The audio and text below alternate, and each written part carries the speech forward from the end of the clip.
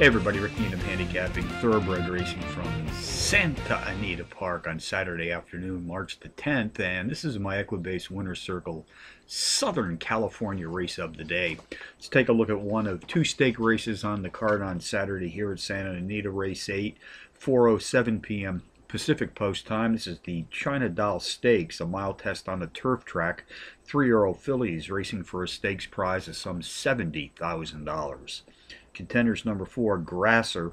Number three, Indigo River. Number two, Lady of Shamrock. And number five, Vionnet.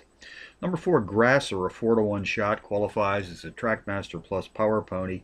Both the overall speed and pace profile leader in the stakes field, racing at today's distance of a mile on the turf, has produced power runs in each of her last three, including a pair of power run wins being embedded in this recent streak of racing consistency.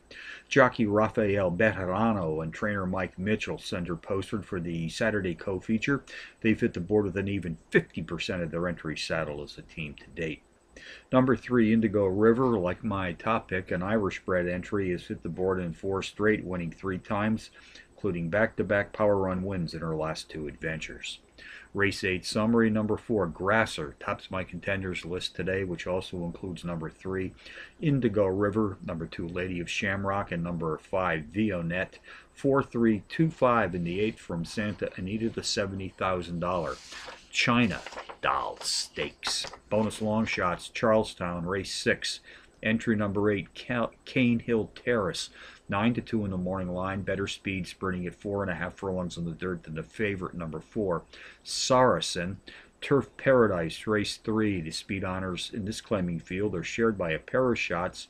Number 4, Fisher's Catch, 6 to 1. And the 5 to 1 shot, number 5, R. Dubai Girl.